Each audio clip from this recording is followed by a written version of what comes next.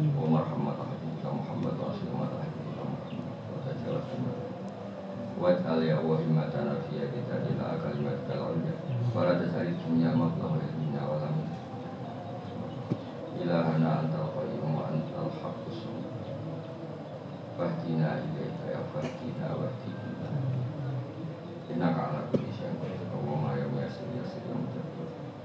وما يوم حبيل الأحوال الأحسن قدر